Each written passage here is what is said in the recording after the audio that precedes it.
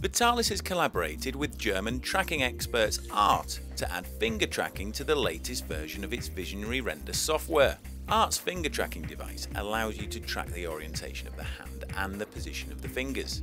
It is wireless, works for one as well as for both hands, and is available as a 3 or 5 finger version.